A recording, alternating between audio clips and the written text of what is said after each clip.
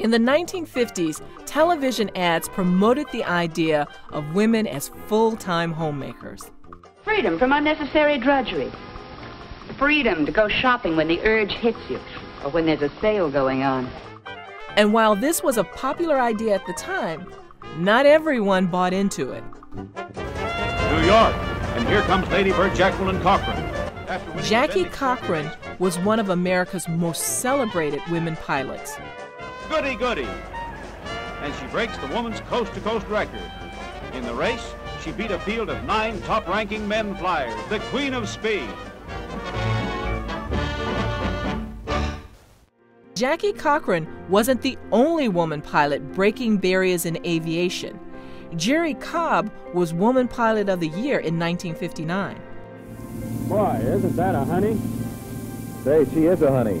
Meet Miss Jerrie Cobb, who's just flown in here to Tyndall Air Force Base to be with us here at Operation William Tell.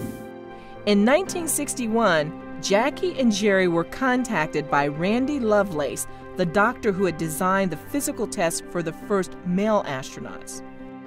Well, I, uh, I feel that uh, the problem will be one of multiple stresses, and I think Captain Barr and General Flickinger feel the same way. And uh, the way the program is set up, I feel that every man here can uh, withstand the stresses to which they will be subjected. They learn to survive in a variety of hostile environments, including the deserts and jungles of the Earth. But no American woman had ever been an astronaut. Dr. Lovelace wanted to see if women could survive the same rigorous test that the male astronauts had gone through. Dr. Lovelace recruited 13 women pilots, including Jerrie Cobb, and ran them through the same test. Jackie, who was very wealthy, paid for the test. Jerrie Cobb called the group the Fellow Lady Astronaut Trainees, or the Flats. Jerri Truhill and Wally Funk, two other women in the group, remember what the testing was like. The thing that hurt was when they injected super, super cold water in our ears. And that would put you into vertigo. You would actually whirl around and around and around. And they wanted to see how long it took you to recover from vertigo. They said, Tell us when, when you quit spinning. So I said, I've quit. And they said, No, you haven't. I said, How do you know I haven't? They said, Because your eyeballs are still going round and around. the women performed the test as well as the men had, and in some cases, they did even better. And they proved that women were just as physically and mentally capable. All this time, NASA didn't know anything about Dr. Lovelace's testing program. When they found out about it, they put an end to it. And we get this telegram. Regret to advise arrangements at Pensacola canceled.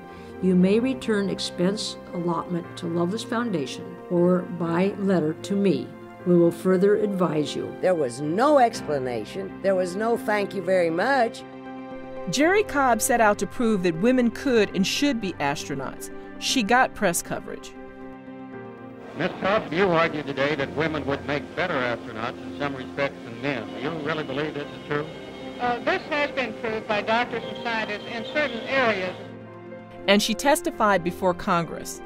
Yet, it would take 20 more years for NASA to launch the first American woman into space. Too late for Jerrie Cobb and the other women who went through testing at the Lovelace Clinic. Jerrie and those other pilots paved the way for women like me and, like Eileen Collins, the first woman commander of the space shuttle. Go at throttle up. I first started thinking about a career in flying when I was a teenager.